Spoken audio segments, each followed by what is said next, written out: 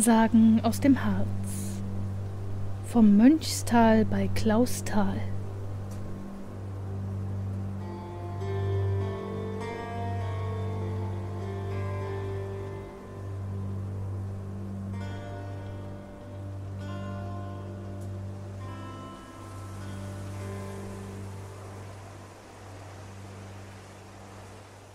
Das Mönchstal von Klausthal hat seinen Namen vom Bergmönch. Der hat hier seinen Lieblingsaufenthalt gehabt. Es hat auch hier früher sehr reiche Gruben gegeben. Da ist der Bergmönch manchmal in der Grube erschienen, ja wohl gar in die Bucht gekommen, und die Bergleute haben sich so an ihn gewöhnt, dass sie eben keine Furcht mehr vor ihm gehabt haben. Aber manchmal hat er auch seine Launen gehabt. Er hat die Schütten aufgehoben, dass man die Wasserräder nicht hat zum Stehen bringen können, oder hat die Kunst aufgehalten oder die Bergleute erschreckt durch allerlei abenteuerliche Spielereien und Neckereien. Dadurch wird er endlich den Bergleuten zur Last, und so haben sie ihn gern los sein wollen. Endlich folgen ihm einmal ein paar Bergleute nach und legen, wie sie so gehen, Kreuze vor sich hin. Da geht der Bergmönch zuletzt in eine Schlucht hinein, welche hinten durch eine nackte Steinwand geschlossen wird. Der Bergmönch sieht sich noch einmal um und sieht ganz zornig aus. Darauf berührt er den Stein so wie er den Stein angerührt hat, tut der sich auf, und der Bergmönch tritt hinein. Gleich darauf schließt sich die Wand wieder fest zusammen. Seit der Zeit ist der Bergmönch nicht wieder in die Gruben gekommen. Aber diese sind auch alle überschwemmt, und man hat sie auflassen müssen, und bis auf diesen Tag sind die Wasser im Mönchstal nicht zu bewältigen, und keine Grube hat Glück. An der Stelle, wo der Bergmönch in den Fels gegangen ist, auf der nämlichen Felswand, ist das Bild eines Bergmannes zu sehen.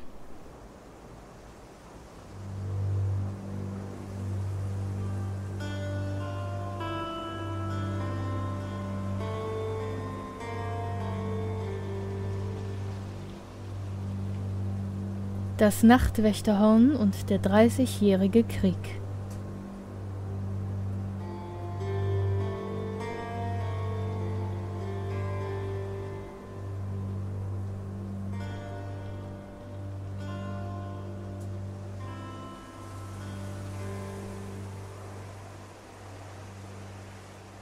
Als einst auf Klausthal der Nachtwächter zwölf Uhr geblasen hatte, kam er über den Kirchhof.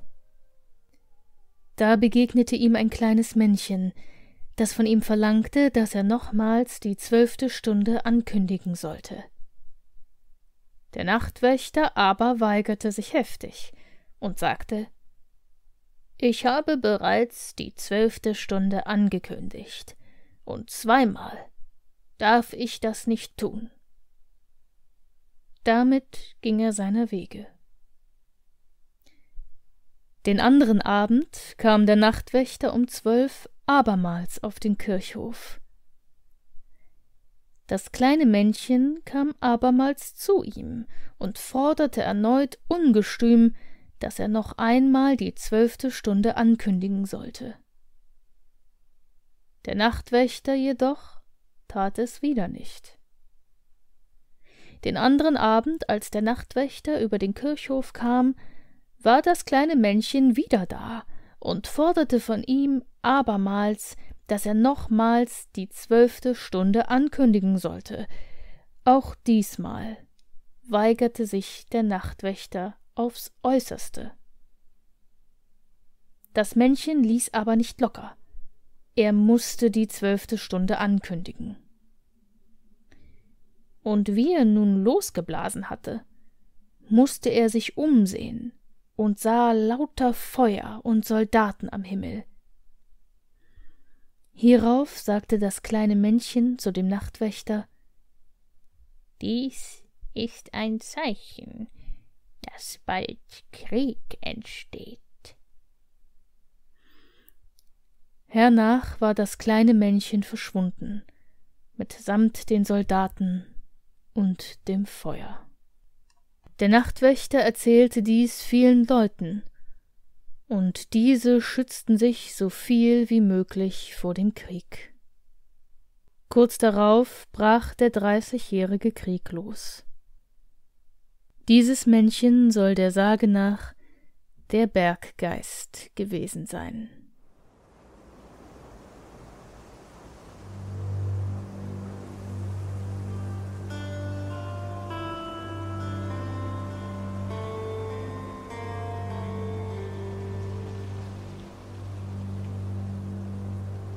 Die Grube Silberner Mann.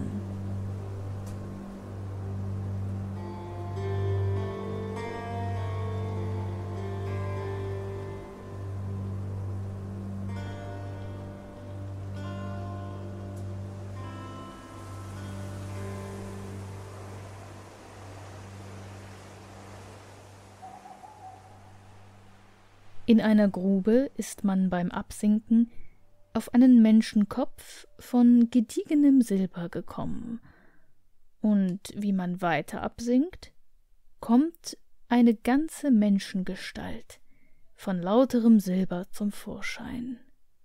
Diese stellt den Bergmönch dar, wie er leibt und lebt. Und darum hat niemand es wagen dürfen, dieses Bild zu beschädigen. Und lange, lange Jahre ist diese Grube die ergiebigste auf dem Harz gewesen, und wegen ihres Wahrzeichens wurde sie der silberne Mann genannt.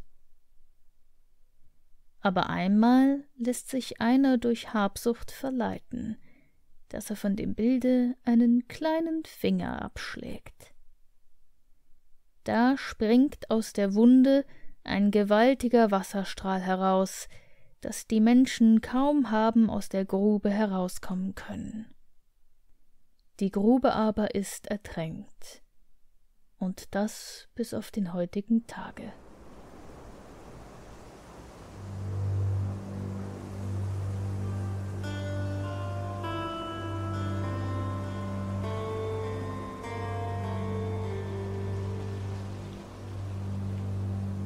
Spuk bei Zellerfeld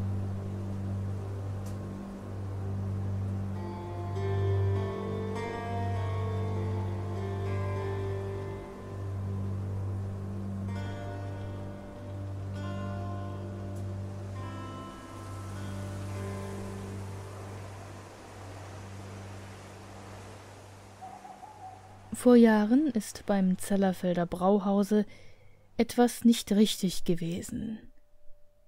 Wenn da jemand des Nachts zwischen elf und zwölf Uhr vorübergegangen ist, so hat sich's ihm hinten auf den Rücken gesetzt.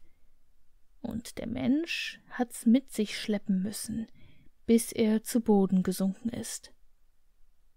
Nicht jeder, dem das was auch immer es gewesen ist, begegnete, ist daran gestorben. Aber auf dem Rücken hat er immer die Spur von eingedrückten Händen oder einer Menschenfigur gehabt. Das kommt daher, weil das Brauhaus früher ein Kloster gewesen ist. Und nun üben die Mönche Rache dafür, dass man dies Kloster aufgehoben hat. Auch hat der Nachtwächter in der Gegend manchmal einen Mann ohne Kopf umhergehen sehen. Wenn man dergleichen sieht, muss man still vorübergehen, sonst findet man den Tod. Bergleute, die auf dem Weg zu ihrer Zeche an dem Brauhause vorübergingen, hatten manchmal des Nachts plötzlich eine schwarze, unabsehbare Mauer vor sich, Sie taten gut daran, direkt umzukehren. Denn auch wenn sie es in der Regel schaffen würden, die schwarze Mauer durch einen langen Umweg hinter sich zu lassen und zu ihrer Zeche zu gelangen, müssten sie doch am selben Tage ihr Leben lassen.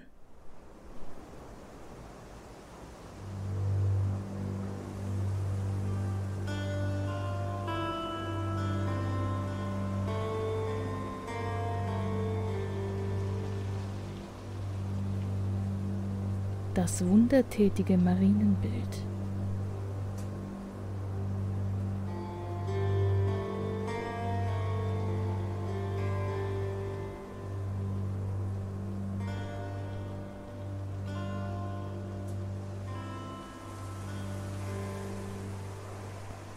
Es wird erzählt, dass auf der Herzburg zur Zeit, als sie nicht mehr bewohnt gewesen, ein wundertätiges Marienbild gestanden habe, das vielen Kranken geholfen hat.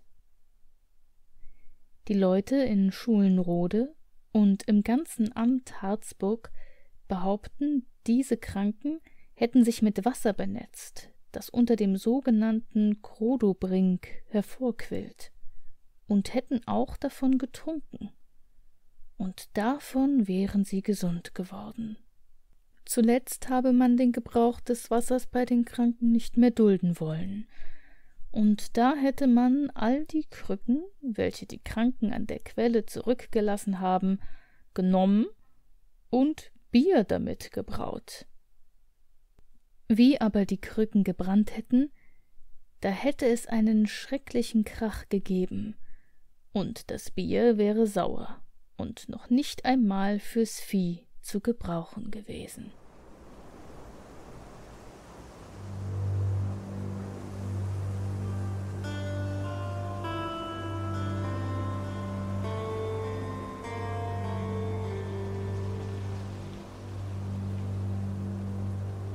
Der Freischütz von Herzberg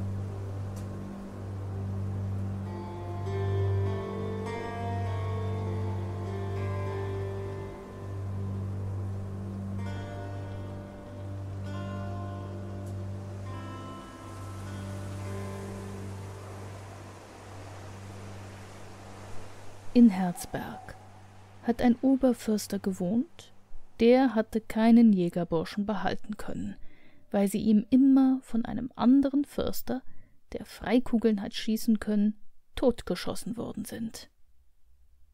Eine ganze Zeit lang hat er darum keinen Burschen gehalten. Einst kam ein Jägerbursche und bot seinen Dienst diesem Oberförster an. Der aber wollte ihn nicht annehmen, und erzählte ihm, wie es ihm noch bei jedem Burschen ergangen wäre. Der Jäger sagte Ach, wenn's weiter nichts wäre, diesen Ding wolle er schon dem Pflock beistecken. Der Oberförster nahm also den Burschen an.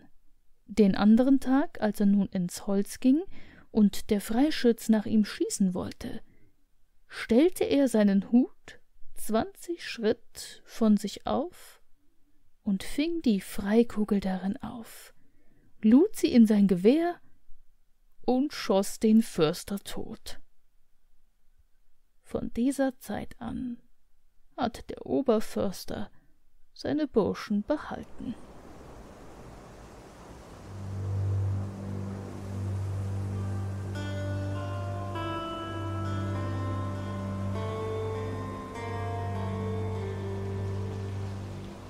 Der verschüttete Bergmann.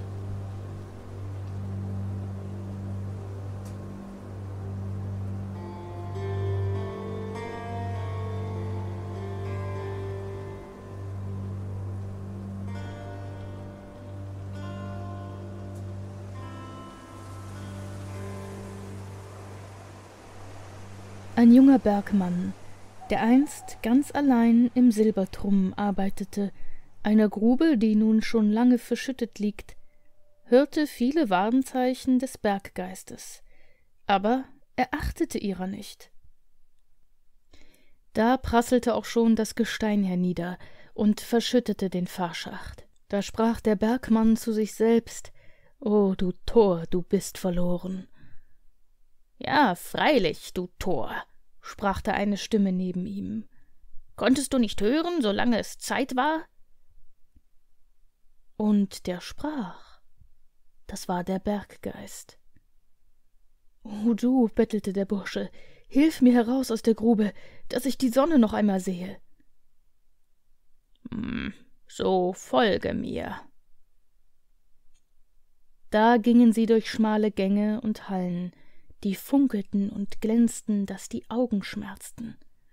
Sie gingen lange, lange, lange und kamen endlich in einen dunklen Gang, an dessen Ende das Tageslicht schimmerte.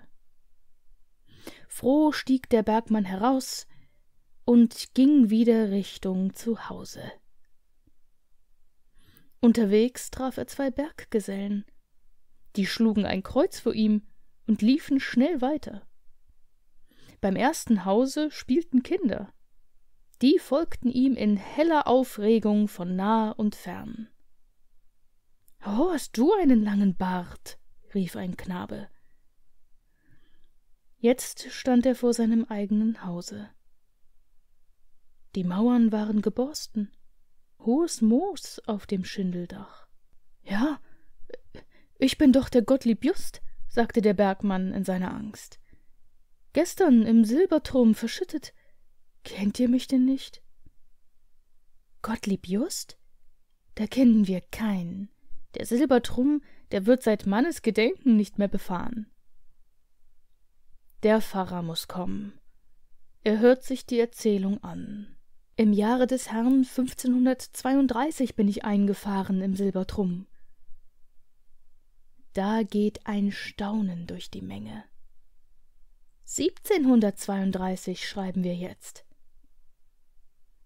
Der Bergmeister sieht in den alten Schriften nach.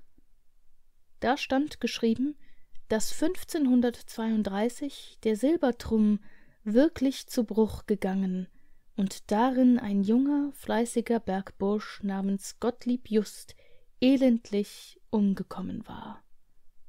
Aber schon nach wenigen Tagen mussten die Bergleute ihren alten, neuen Kameraden auf den Kirchhof betten, wo seine Altersgenossen schon so lange schlummerten.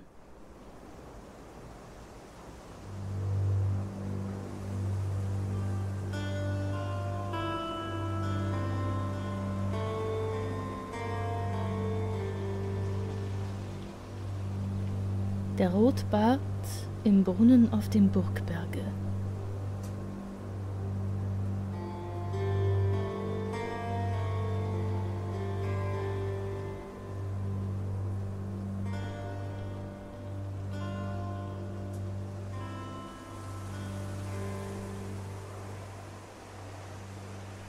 Im Burgbrunnen auf der Harzburg fährt es oft mit Kutschen umher und rauscht gewaltig. Einige sagen, als Kaiser Heinrich IV.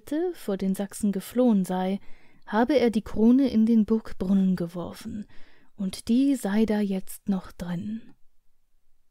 Andere sagen, es sei ein Kaisersarg in dem Brunnen, und wieder andere, ein Kaiser sei in diesen Brunnen verwünscht worden. Den Kindern sagen die Mütter, sie sollten nicht zu dem Brunnen gehen, weil Kaiser Rotbart drinne säße. Dass die weiße Jungfrau drinne sei, weiß in Harzburg jedermann. Einstmals ist ein Verbrecher namens Schöppenstedt in den Brunnen heruntergelassen worden, dem das Leben geschenkt werden sollte, wenn er glücklich aus einem Gang wieder herauskäme, der von dem Brunnen ausgehen soll. Als nun Schöppenstedt in den Brunnen ist, kommt er an eine eiserne Tür. Die tut sich auf. Und da steht die weiße Jungfer vor ihm und sagt, dass es sein Glück sei, dass er nicht aus Abenteuerlust hierher gekommen wäre. Dann führte sie ihn den Gang entlang und schenkte ihm so viel Geld, wie er tragen konnte. Dann sind sie auch in eine Höhle gekommen.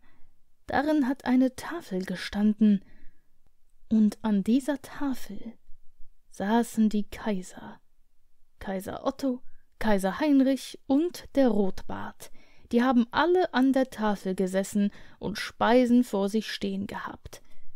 Und den einem Kaiser, dem ist der Bart durch die Tafel gewachsen, und in der Höhle sind große Schätze gewesen. Zumal an Krügen und Kelchen, das hat ausgesehen wie Holz, ist aber Silber und Gold gewesen. Auch viele Pferde haben da herumgestanden, so schön und prächtig, wie man sie sich nur vorstellen kann. Zuletzt ist Schöppenstedt an dem jetzt sogenannten Schöppenstädter Grund wieder herausgekommen. Auf diesem Gang soll auch Kaiser Heinrich IV. zu seinen Lebzeiten heimlich aus der Burg vor den Sachsen entwischt sein.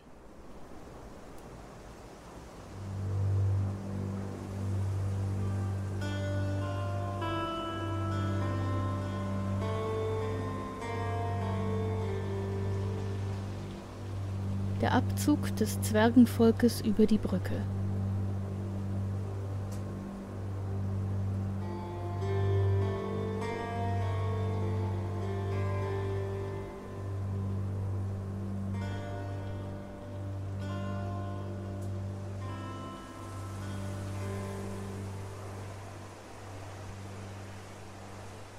Die kleinen Höhlen in den Felsen, welche man auf der Südseite des Harzes, besonders in einigen Gegenden der Grafschaft Hohnstein findet und die größtenteils so niedrig sind, dass erwachsene Menschen nur hineinkriechen können, teils aber einen räumigen Aufenthaltsort für größere Gesellschaften darbieten, waren einst von Zwergen bewohnt. Auch heute noch nennt man sie Zwerglöcher. Zwischen Walkenried und Neuhof in der Grafschaft Hohenstein hatten einst die Zwerge zwei Königreiche. Ein Bewohner jener Gegend merkte einmal, dass seine Feldfrüchte alle Nächte beraubt wurden, ohne dass er den Täter entdecken konnte. Endlich ging er auf den Rat einer weisen Frau hin, bei Einbrechen der Nacht an seinem Erbsenfelde auf und ab und schlug mit einem dünnen Stabe nah über dem Boden in die Luft. Es dauerte nicht lange. So standen einige Zwerge leibhaftig vor ihm. Er hatte ihnen die unsichtbar machenden Nebelkappen abgeschlagen. Zitternd fielen die Zwerge vor ihm nieder und bekannten, dass ihr Volk es sei, welche die Felder der Landesbewohner beraubte, wozu aber die äußerste Not sie zwänge. Die Nachricht von den eingefangenen Zwergen brachte die ganze Gegend in Bewegung. Das Zwergvolk sandte endlich Abgeordnete und bot Lösung für sich und die gefangenen Brüder und wollte dann auf immer das Land verlassen. Doch die Art des Abzuges erregte neuen Streit. Die Landeseinwohner wollten die Zwerge nicht mit ihren gesammelten und versteckten Schätzen abziehen lassen, und das Zwergvolk wollte bei seinem Abzuge nicht gesehen sein. Endlich kam man dahin überein, dass die Zwerge über eine schmale Brücke bei Neuhof ziehen und dass jeder von ihnen in ein dorthin gestelltes Gefäß einen bestimmten Teil seines Vermögens als Abzugszoll werfen sollte, ohne dass einer der Landesbewohner zugegen wäre. Dies geschah, doch einige Neugierige hatten sich unter die Brücke gesteckt, um den Zug der Zwerge wenigstens zu hören. Es war ihnen, als wenn eine sehr große Herde Schafe über die Brücke ging. Seit dieser letzten großen Auswanderung des Zwergvolkes lassen sich nur selten einzelne Zwerge sehen. Doch zu den Zeiten der Vorväter stahlen zuweilen einige in den Berghöhlen zurückgebliebene Zwerge in den Häusern der Landesbewohner kleine, kaum geborene Kinder, die sie mit Wechselbälgern vertauschten.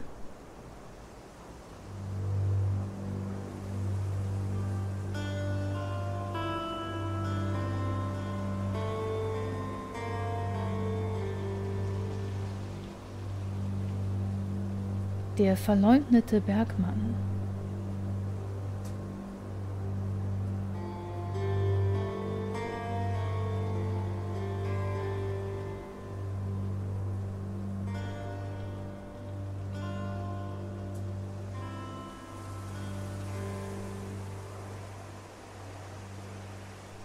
In einer Grube arbeiteten einst zwei Bergleute miteinander, von denen der eine, ein heimtückischer Mensch, seinem ehrlichen und biederen Kameraden seiner Rechtschaffenheit wegen äußerst gram war und gar manchen Schabernack tat.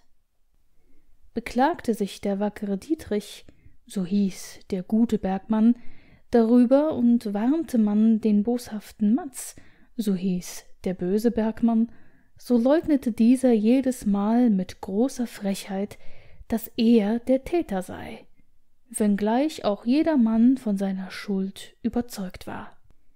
Eines Tages, als die Glocke die Beendigung der Schicht angekündigt hat, sieht Dietrich, dass sein unredlicher Kamerad ein Stück Silberstufe einsteckt.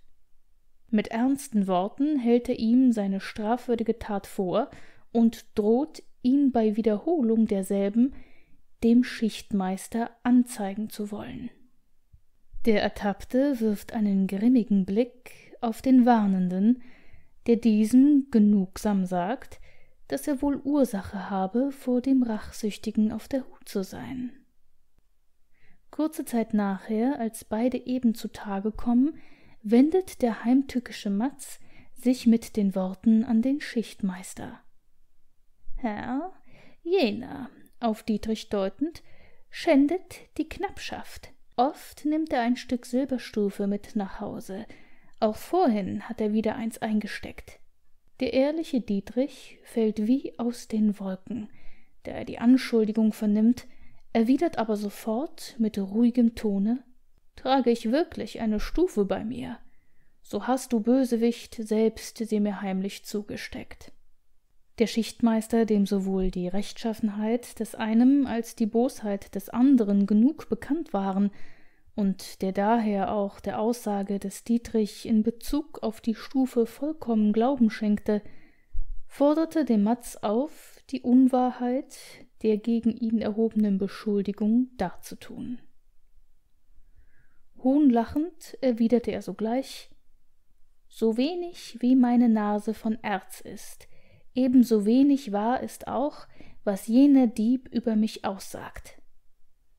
Kaum aber hatte er die Worte gesprochen, so fliegt aus dem Schacht ein Stück Erz heraus und ihm mit solcher Kraft mitten ins Gesicht, dass er taumelnd und laut aufschreiend rücklings zu Boden stürzt.